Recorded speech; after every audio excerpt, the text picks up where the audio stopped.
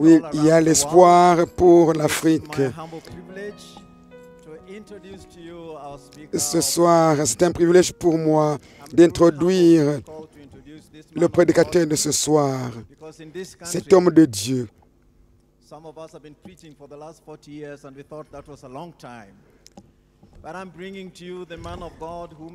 Il y a des gens qui ont prêché pendant 50 40 ans et ils pensent qu'ils ont prêché pendant longtemps. Mais celui que je vous présente a déjà prêché pendant 56 ans et il est toujours en forme. Il est l'assistant du président de la conférence générale de l'Église adventiste du septième jour. En tant qu'assistant au président de l'Église, il continue à donner des messages d'évangélisation à la télévision dans le monde entier.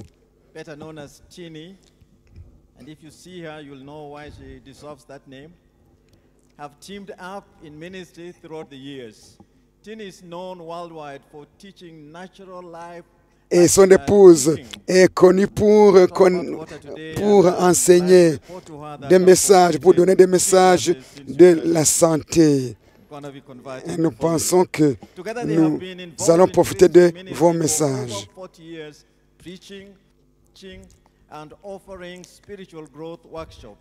Elle a donné des conférences et des ateliers pendant plus de 40 ans.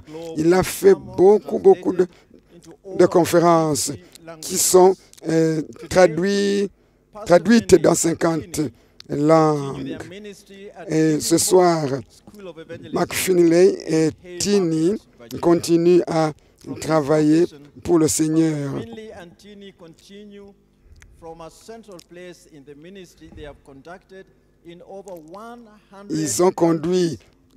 Des messages, ils ont conduit des campagnes d'évangélisation dans plus de 100 pays dans le monde. Je voudrais vous demander, ne perdez aucune, aucune présentation de sa part. Je voudrais donc que vous invitiez vos amis, vos parents, vos voisins.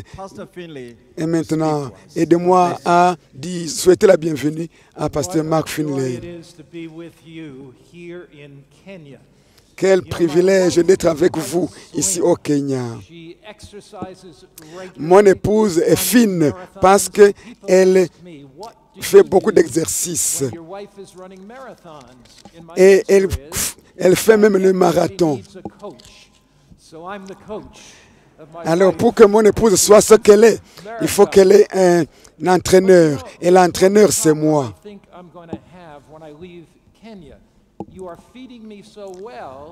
I think I'm going to have when I leave Kenya. You are feeding me so well that I may gain another 10 pounds. Seulement, je crains que, en quittant le Kenya, je puisse euh, avoir gagné du poids et ne pas être capable d'entraîner mon épouse.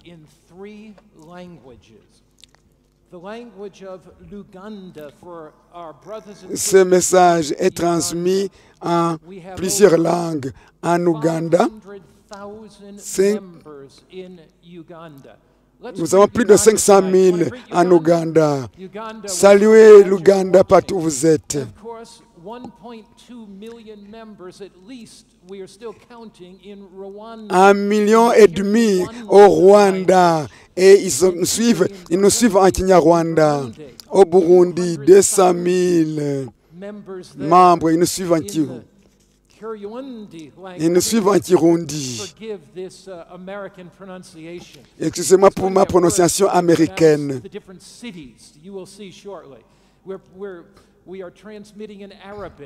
Nous transmettons aussi ce message en arabe, en français, en amhar- amharique en Éthiopie et en Kiswahili. J'ai reçu quelques rapports. Voici les rapports ce soir. Les gens qui nous suivent sur les réseaux sociaux de ce que Dieu a fait pour eux à Kakamega. Au Kenya. Nous avons vu eh, de belles chorales, de belles chorales de Kakamega. About seven hours from here. Yesterday, they baptized 59 Hier, ils ont baptisé at Kakamega 58 à Kakamega.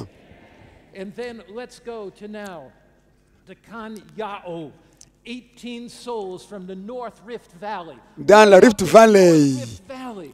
18 souls. Sometimes 18 they ont été baptisés. trail, Go into a little river, but 18 souls there. In Mi Rocher, 30 souls. in Mi Rocher. Southwest, yeah, whatever. it is. Sud-ouest, Southwest Nanza? N-Y-A-N-Z. Transoya, Nyanza, right. Nyanza. In Nyanza. Oh, this is a, this one is a real beauty. OK Ray Way. How was that? OK Ray. Yeah, OK Ray Way. Way up in the highlands of Tanzania.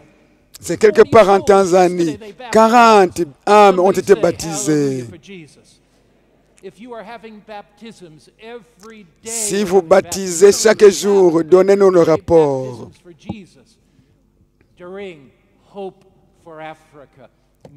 C'est ainsi que vous allez amener l'espoir pour l'Afrique en baptisant les gens pour Christ.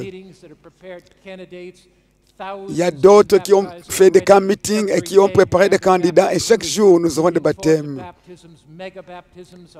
Nous aurons un méga, un méga baptême le sabbat. Ce soir,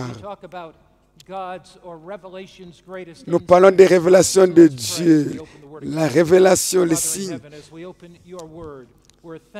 Nous te remercions, Seigneur, pas pour ce que tu es en train de faire pour l'Afrique. Nous te remercions pour ton esprit qui est déversé sur ce continent africain et surtout dans la division Afrique centre-est. Nous voyons que le Seigneur est en train de faire quelque chose de spécial. Nous avons, nous expérimentons un temps spécial dans l'histoire de cette planète. Aide-nous à ne pas retarder ton avènement. Que tous ceux qui nous écoutent puissent prendre une décision pour Jésus-Christ. Que des hommes et des femmes, des garçons et des filles en Afrique et dans le monde puissent prendre des décisions pour Christ. Nous prions ceci au nom de Jésus. Amen. Dans le monde entier, les hommes et les femmes voient euh, la recrudescence de, de la cruauté, de la criminalité, et ils se demandent qu'est-ce que le futur nous réserve? Comment est-ce que je peux faire face à l'avenir avec confiance? Le livre, le livre de la révélation, l'Apocalypse, nous révèle l'avenir. Apocalypse chapitre 1, nous disons ceci. Voici, il vient avec les nuées, et tout œil le verra, et même ceux qui l'ont percé. Chaque œil verra Jésus-Christ quand il reviendra sur les nuées. Au Burundi, on le verra quand il reviendra sur les nuées. En- au Congo, tout œil le verra. En Tanzanie, tout œil le verra. En Nigeria, tout œil le verra. La Bible dit, tout œil le verra. Au Rwanda, tout œil le verra. Lorsque Jésus-Christ revient, ce n'est pas, une, un, ce n'est pas un secret. Et ce sera comme un éclair qui part de l'est vers l'ouest. La Bible d'Apocalypse nous, dit, nous dit, Jésus-Christ revient bientôt. Et il termine aussi avec les mêmes paroles. Celui qui, celui qui atteste ces choses dit, oui, je viens bientôt. Amen. Viens Seigneur Jésus-Christ. Que la grâce du Seigneur Jésus-Christ soit avec vous. Viens Seigneur Jésus-Christ. Nous sommes fatigués de la peine, nous sommes fatigués des souffrances. Mais il y a l'espérance pour l'Afrique, non pas à cause des solutions humaines, mais à cause de la solution divine. Lors du retour de Jésus-Christ. Le retour de Jésus-Christ, c'est la bienheureuse espérance qui va balayer la tristesse, l'obscurité de ce monde. Quand Jésus-Christ va venir, les tombes vont s'ouvrir et l'Éternel. Il y a donc de l'espoir pour le monde. Il y a l'espoir pour l'Afrique. Quand Jésus-Christ revient, si Jésus-Christ est ressuscité, il a conquis la mort. Et s'il a conquis la mort, nous aussi, nous sommes conquérants avec lui. Nous sommes vainqueurs avec lui. Et lorsqu'il viendra, il nous revêtira d'un corps glorieux, immortel.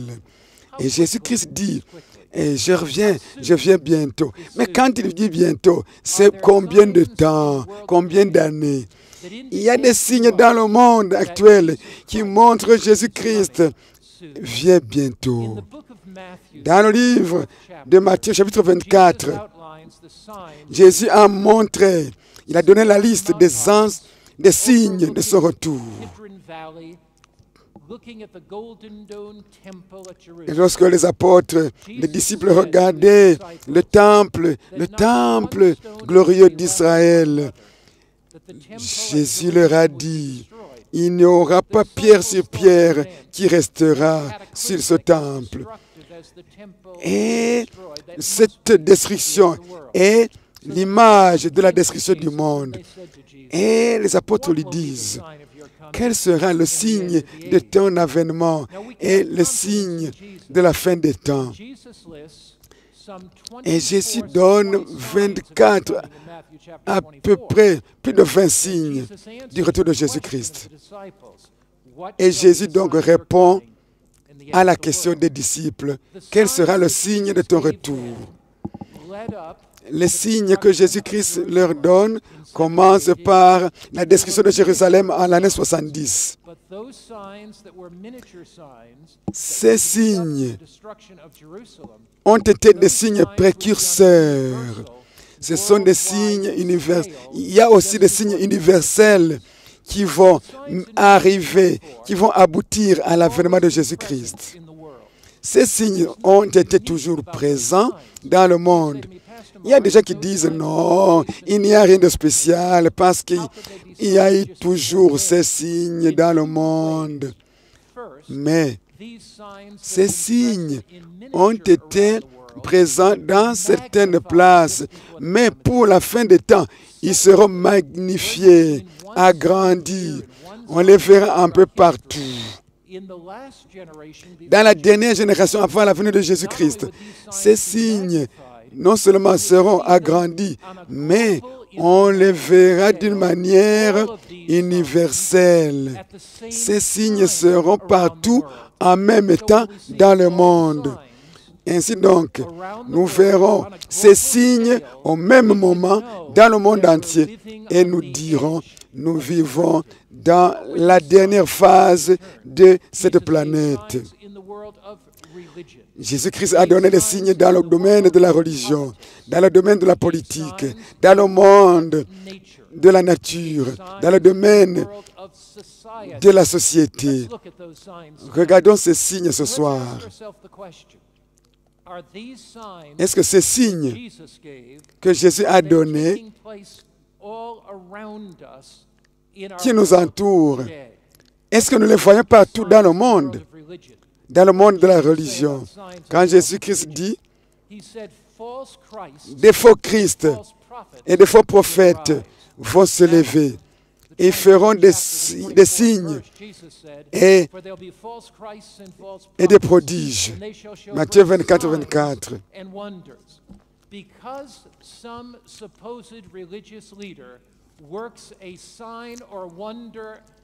Certains signes, certains prédicateurs, certains chefs religieux, ils font des signes, ils font des, des ils font des choses grandioses.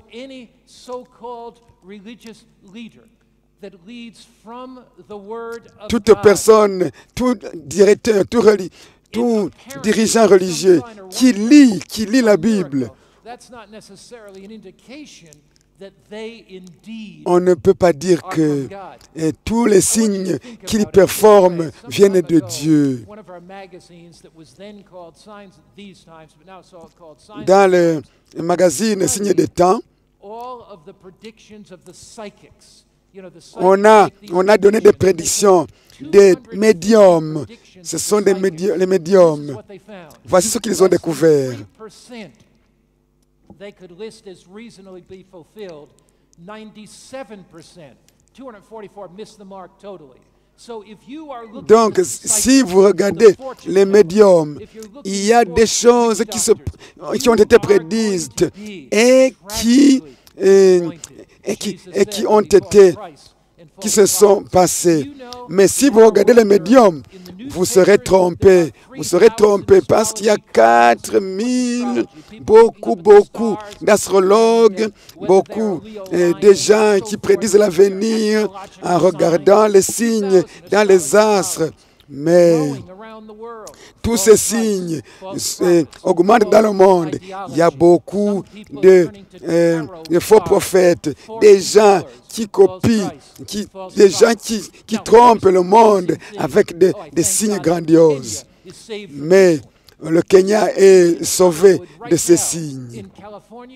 En Californie, il y a, il y a des guides spirituels qui s'appellent Mafu. Vous savez ce qu'ils ont fait?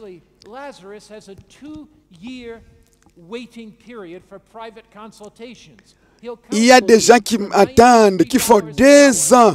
Ils ont fait l'enregistrement pour eh, consulter les médiums. Passent deux ans sans avoir l'occasion de consulter eh, les médiums, alors qu'ils ont déjà payé. Ce sont des faux Christ, ce sont des faux prophètes. Les sorciers, ils communiquent avec le diable et ils prédisent l'avenir. Ceci est devenu donc commun dans le monde. Il y a beaucoup de vidéos, de jeux vidéo qui transmettent des messages secrets pour décevoir, pour tromper vos enfants lorsqu'ils les observent. Les vidéos, la plupart des vidéos sont eh, des instruments du diable pour vous, eh, distraire et pour vous amener loin de Dieu. Même s'ils contiennent des choses spirituelles, même s'ils contiennent des choses spirituelles, ce sont eh, des cadeaux empoisonnés. Les faux prophètes existent partout. Euh, à Moscou, nous avons 18 000 personnes qui viennent. À Moscou, nous avons ba- baptisé eh, 18 000. Oh, ah, nous étions à Moscou et nous avons baptisé beaucoup de personnes. Et quelqu'un était assis sur une chaise avec un bouquet de fleurs. Et je suis allé prendre le bouquet de fleurs. Et la personne a pris, la personne a pris le microphone et il a dit, cette personne est en train de vous tromper. Ça, c'est une, c'est, c'est un, c'est une personne qui, euh, qui, qui suit la doctrine des démons et qui travaille pour le diable. Elle a beaucoup, beaucoup de- d'adeptes. Et ils se présentent comme des anges. Et pourtant, ce sont des serviteurs du diable. Et alors, l'un des, adeptes a volé. Il, a fait, il est venu pour m'attaquer. Et je vous dis que pendant cette séance, pendant, pendant eh, cette évangélisation, j'ai baptisé beaucoup, beaucoup de militaires russes. Et ils nous attaquent partout où nous, nous allons. Mais quelquefois, nous baptisons, ils cassent les choses, ils, ils souillent les, les, les citernes dans lesquelles nous baptisons. Malgré cela, nous baptisons des milliers et des milliers. Malgré ces personnes qui se disent des prophètes et des faux prophètes qui nous attaquent. Donc ces faux prophètes sont partout. En Ouganda, avec euh, euh, cet homme-là qui s'appelle Joseph, qui a fait tuer beaucoup de personnes euh, en Ouganda. Jim Jones? En Amérique, par exemple, avec son culte des morts, il a fait tuer beaucoup. Avec David, David, partout dans le monde, même au Kenya, en avril, quelque chose s'est passé. Euh, en, avril de cette année. Un homme, on a découvert des, des tombeaux. Et dans des tombeaux, on a trouvé eh, des adeptes d'un homme, d'un homme, d'un homme qui. Chakola, Chakola. Yeah. Oh, Coca-Cola, but Shakahola. Yeah, c'est comme Coca-Cola.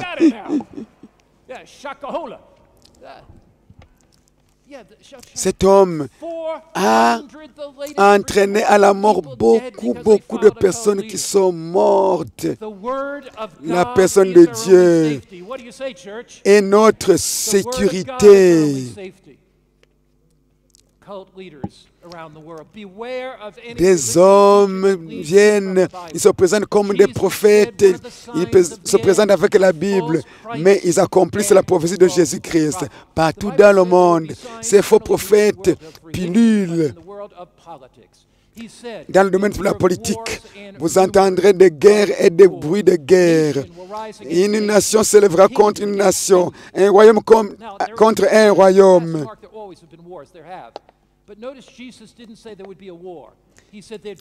Jésus-Christ n'a pas dit il y aura une guerre. Il dit il y aura des guerres et des bruits de guerre.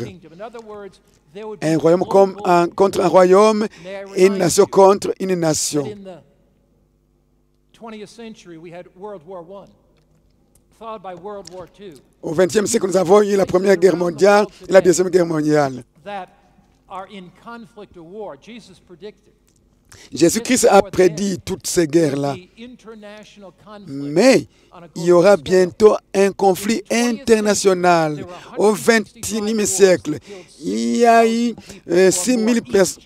Il y a eu euh, 180 millions qui sont morts à cause de la guerre, la guerre In the 20th seulement. century alone, there are 180 million deaths from war.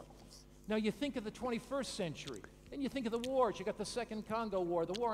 Imaginez-vous maintenant ce qui va se passer avec le 21e siècle. Au 21e siècle, vous avez la, guerre au Congo, la guerre de terrorisme, la guerre au Darfour, la guerre Israël-Libanon, la guerre en Russie, Géorgie, la guerre dans le Moyen-Orient, en Europe, un peu partout, il y a eu des guerres. En Afrique, donc c'est quelque chose d'international. Partout, partout, dans le monde, on trouve ces conflits armés. Et chaque, chaque puissance essaye de gagner eh, des adeptes dans le monde pour se présenter comme la puissance, la première puissance mondiale. La Russie tire la ficelle, l'Amérique tire la ficelle. La 1 Bible dit, en "For when 1 we Thessaloniciens, say peace and safety." Lorsqu'ils diront paix et sécurité, soudain viendra une destruction qui ne laissera personne.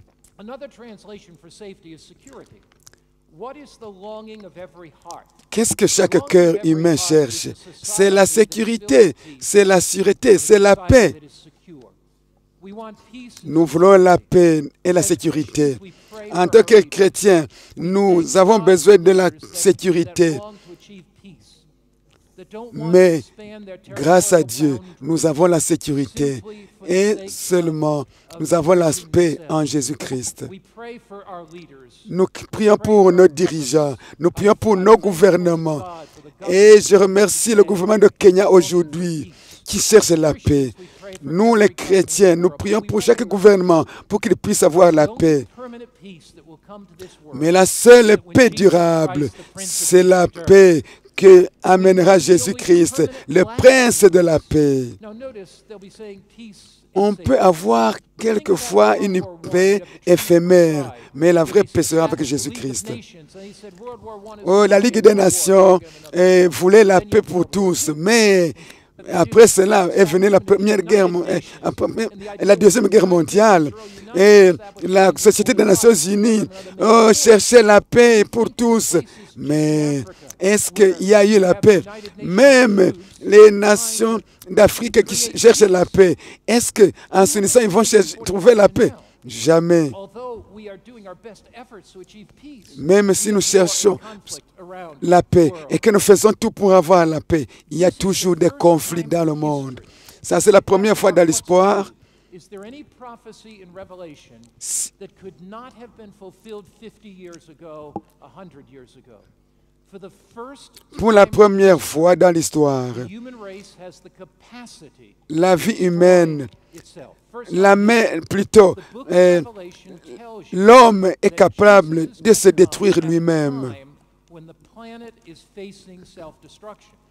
En d'autres termes, 11 l'homme est en train de se détruire lui-même. Les nations sont fâchées et ta colère est venue. Et le temps de la, de la mort est venu. Et ceux qui détruisent la terre et, seront jugés et seront détruits aussi. Ceux qui détruisent la terre seront détruits par Dieu. Oui, Jésus-Christ viendra au temps où la race humaine a la capacité de détruire la terre. Avant, ceci n'est jamais arrivé. L'homme n'avait pas la capacité de, de, détruire le monde. Mais nous avons maintenant des armes nucléaires. C'est-à-dire que ces armes peuvent détruire la terre entière. La bombe atomique peut détruire beaucoup, beaucoup, beaucoup de, de, de, de monde.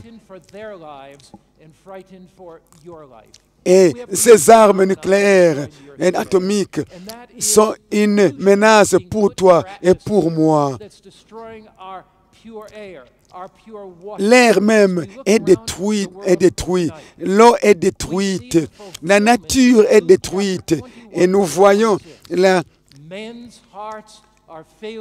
les hommes auront peur et ils ont peur, ils seront découragés.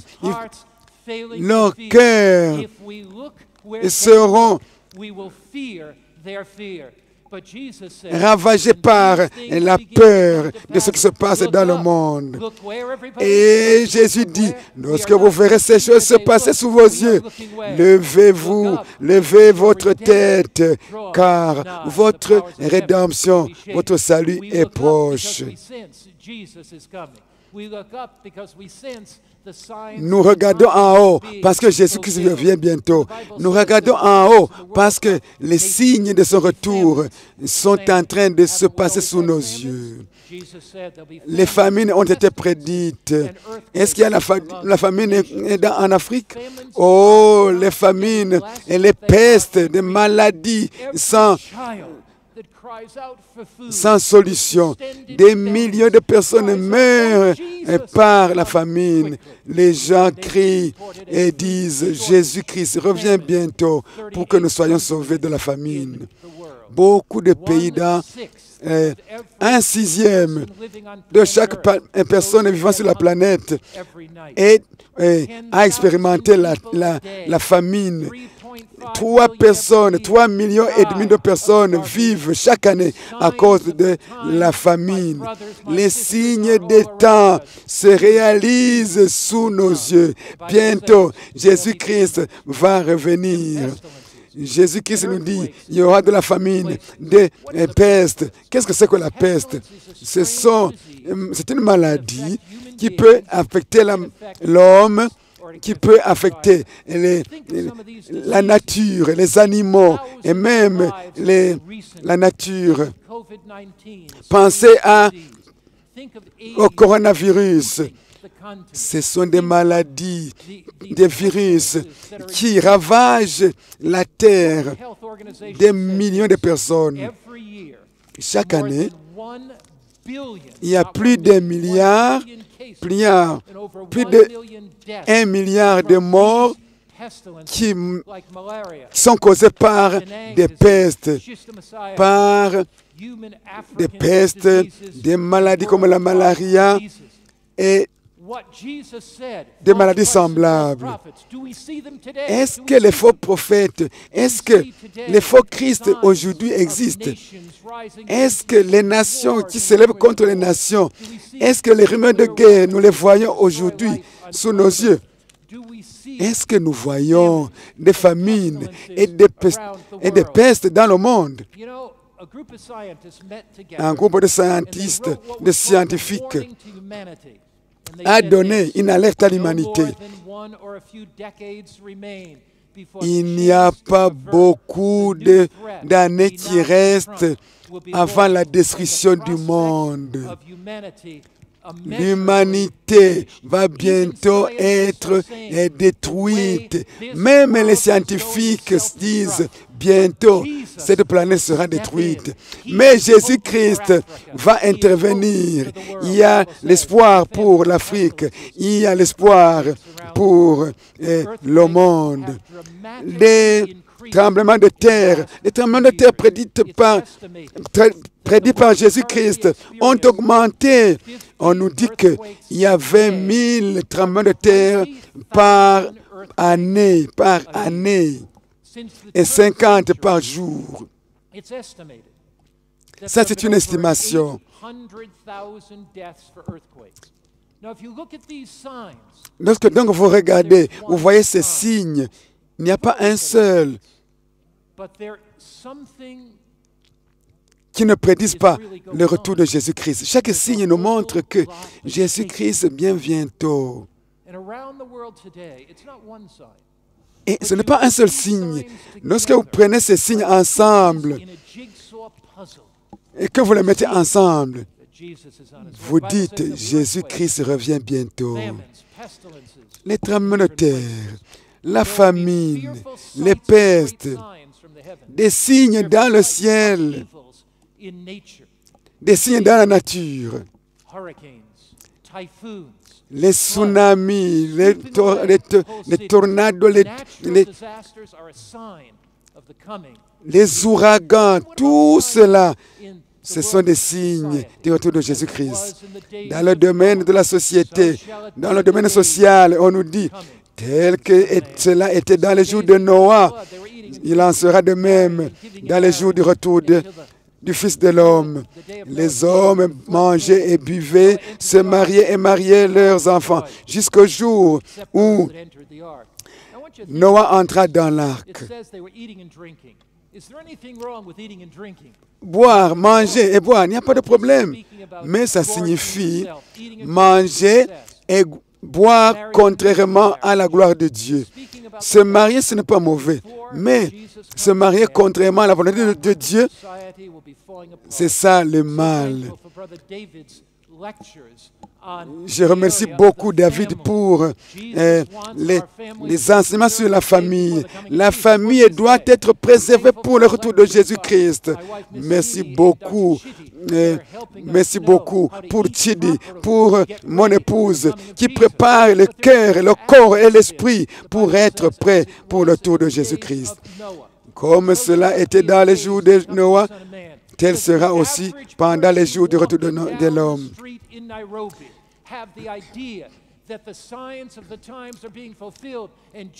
Même les gens qui marchent dans les rues de Nairobi, ils connaissent les signes du retour de Jésus-Christ. Le temps viendra où tout le monde où, va vivre une vie qui n'est pas normale. Et pendant ce jour-là, Jésus-Christ va dire, ça en est fait, trop c'est trop. Bientôt, Jésus-Christ va revenir et mettre fin à toutes ces bêtises qui se passent dans le monde. L'immoralité est acceptée partout dans le monde. Aujourd'hui, l'homosexualité, le lesbianisme, des gens qui sont forcés à accepter des choses que la Bible appelle abomination et qui est acceptée par les lois des pays, des gouvernements. Voyez des jeunes qui vivent dans des relations sexuelles hors du mariage. L'immoralité bat son plein dans le monde plus que les autres temps. C'est comme dans le temps de Noé et de Lot. De même que Dieu a détruit le monde par l'eau, il va détruire le monde par le feu. Partout où vous êtes, que ce soit au Burundi, que ce soit en Tanzanie, que ce soit au Kenya, que ce soit en Éthiopie, que ce soit au Rwanda, que ce soit en Dém- République démocratique du Congo, partout où vous êtes, en Afrique et au- dans le monde, ça c'est le moment de vous préparer pour votre salut. Parce que Jésus revient bientôt. En Genèse 6, elle dit, la terre entière était corrompue devant Dieu, était remplie de violence et de corruption, et toute chair était corrompue sur le ciel.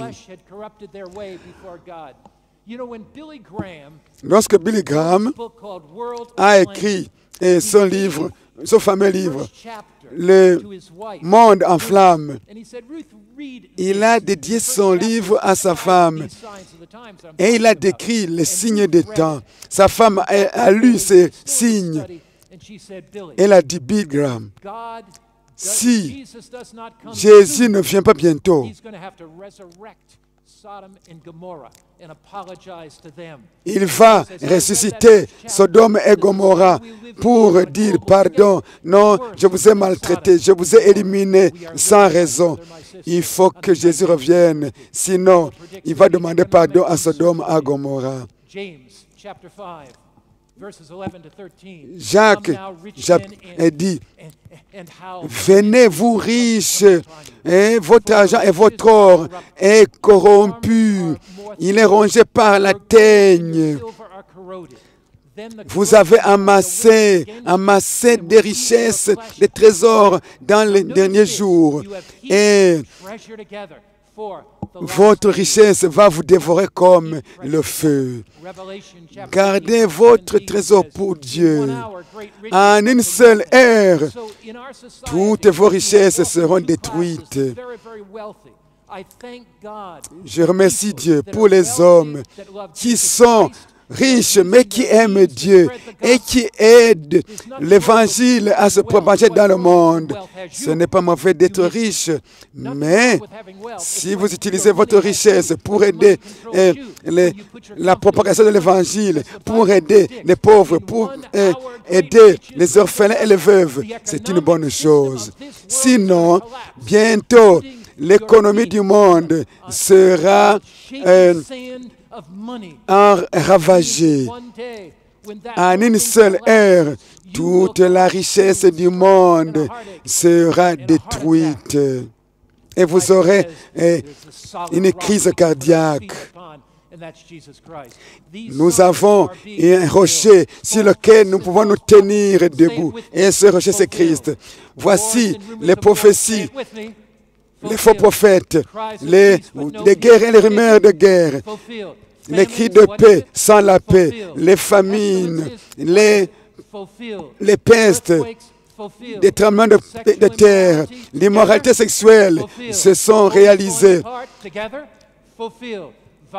La violence partout, ça s'est réalisé.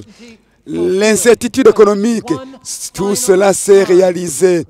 Mais il y a un signe final. Lorsque vous voyez ces choses, sachez que je viens bientôt. Et ça, c'est la propagation, la prédication de l'évangile dans le monde entier. Et cet évangile, cette bonne nouvelle du royaume sera prêchée dans le monde entier pour servir de témoignage à toutes les nations. Alors viendra la fin. Et je vis un autre ange. volant du milieu du ciel, ayant un évangile essentiel. Et je vois un autre ange, un autre ange. volant du milieu du ciel. Qu'est-ce qu'il a? Qu'est-ce qu'il a? Il a un évangile éternel pour prêcher à toute nation, à chaque à tribu, à tout peuple et à toute langue. Ça, c'est la réalisation de la prophétie. Je me tiens ici devant vous, mais le message de Dieu va dans le monde entier. Ça, c'est l'accomplissement de la prophétie. Même dans la forêt, par radio, par Internet, par tél- téléphone, tout le monde nous suit ici. Ceci ne se passait pas il y a 10 ans, 20 ans, non. Maintenant, l'évangile va dans le monde entier sur toutes les plateformes. Jésus dit, le Seigneur, le, le diable utilise la télévision et YouTube. Mais moi, je vais utiliser YouTube, je vais utiliser la télévision, je vais utiliser les réseaux sociaux pour propager le message de l'évangile éternel.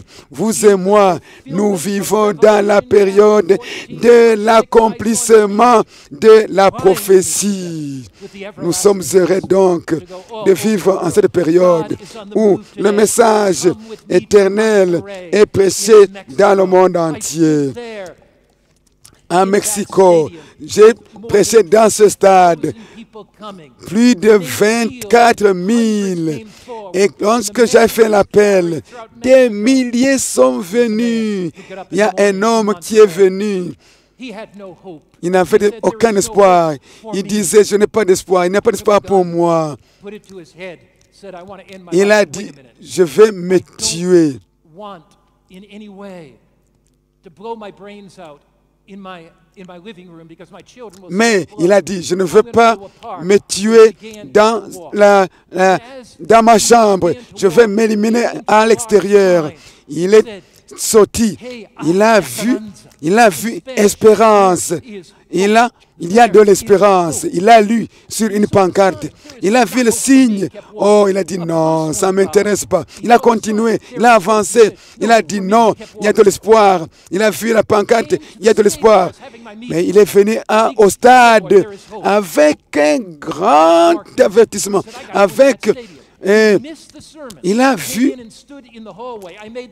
j'ai fait l'appel. Quand j'ai fait l'appel, je l'ai vu. J'ai dit, s'il y a quelqu'un est découragé, il est prêt à s'éliminer, est-ce qu'il peut venir? Il est venu, il a été baptisé. Maintenant, c'est un membre fidèle de l'Église. Jésus-Christ est en train de faire bouger son Saint-Esprit. Et les gens sont baptisés au nom du Père et du Fils et du Saint-Esprit. Jésus-Christ revient bientôt. Viens au Brésil. Au Brésil, nous avions des réunions comme celle-ci. Un jeune homme a accepté Jésus-Christ. Il était drogué et il est venu. Et ce soir, il a pris la carte, il a écrit son nom Et- et il avait de l'argent. Il avait, il avait pris la décision de tuer quelqu'un. In his funeral, his mother Et found his decision card in his coat pocket. oh, la personne a été tuée plus tôt. C'était un- une personne droguée. Et, et il a été tué. Et lorsqu'il a vu, il a regardé, il a cherché dans sa poche, il a trouvé la carte de décision. Et la mère a dit, oh, si mon fils avait accepté l'appel qui a été lancé par le prédicateur, et s'il avait accepté Jésus-Christ, il ne serait pas mort, mon fils. The Castro government invited us to come in the days of Castro, and we came and held meetings there. Et pendant le temps de Fidel Castro, nous avons baptisé des milliers de personnes dans ce pays où l'évangile n'était pas autorisé. Mais nous avons prêché parce que le monde est dans les derniers jours. Nous sommes Dieu, la- le- L'Esprit de Dieu bouge en Chine, et en Russie, et au Japon, et dans le monde entier, en Europe, en Afrique, en Asie.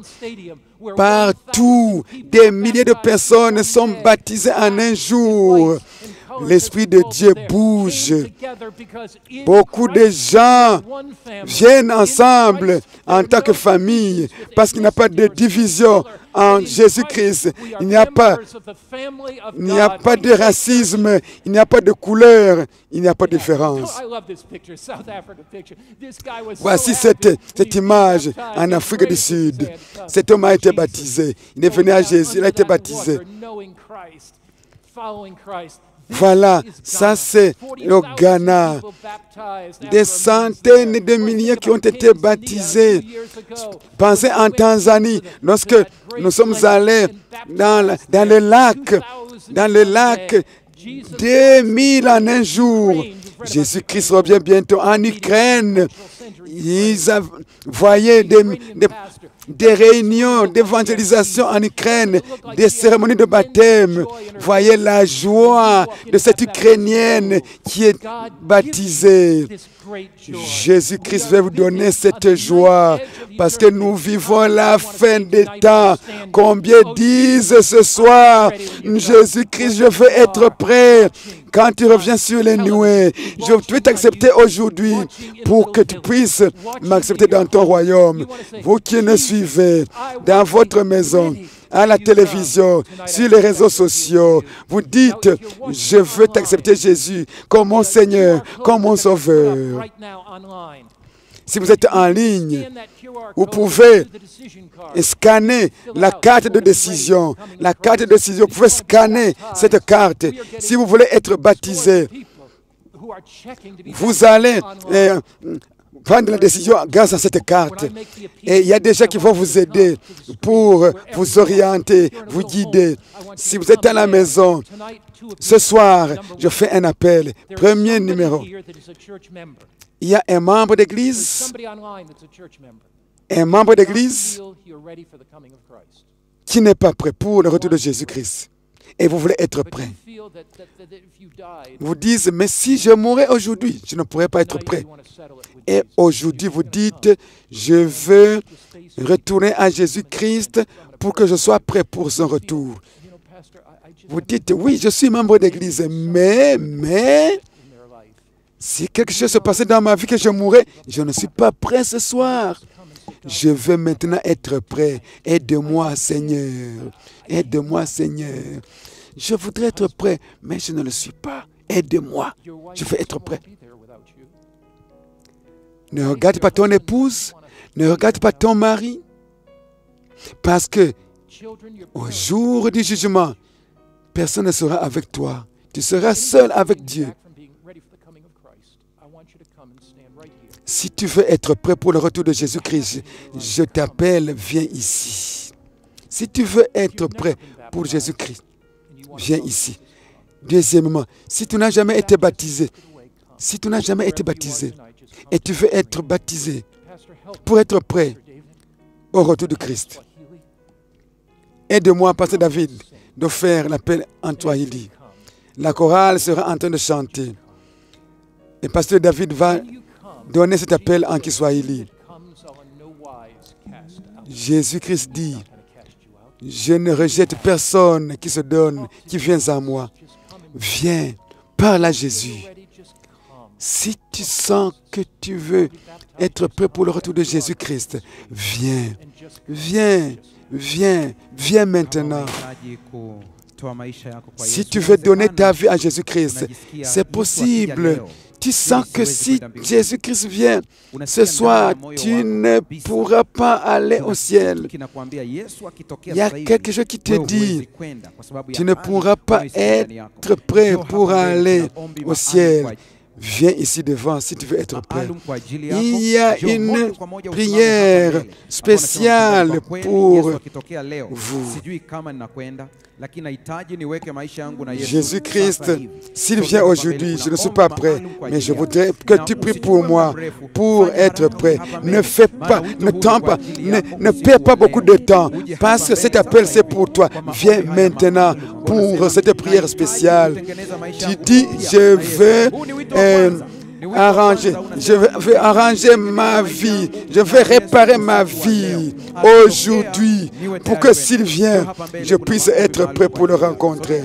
Viens ici. Il y a une prière spéciale pour toi. Viens, viens, viens vite. Vous qui nous suivez à la télévision, viens qui nous suivez euh, par satellite, vous qui nous suivez dans les réseaux sociaux, venez, venez, venez ici. Ne tardez pas. Si vous voulez de la force pour aller au ciel, on a besoin d'une force spéciale. Oui, la vie éternelle, ce n'est pas un jeu. On a besoin de force pour prendre la décision pour Christ. Viens vite, vite, vite.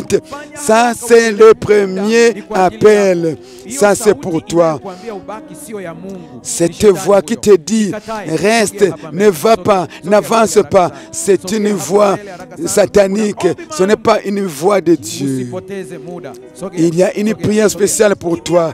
Viens, cours, cours, cours. Satan ne veut pas que tu appartiennes à Jésus. Il veut que tu lui appartiennes partout où tu es. Viens vite pour cet appel spécial. Tu veux réparer ta vie avec Jésus-Christ. Viens, viens, viens, viens. Ne tarde pas. Ne perds pas une minute.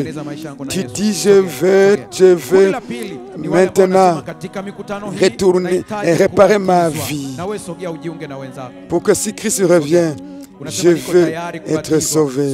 Et si tu veux être baptisé aussi, ça c'est le deuxième appel. Viens aussi. Viens vite. Ça c'est le temps où Satan ne veut pas accepter que tu viennes. Mais viens, viens vite, viens vite.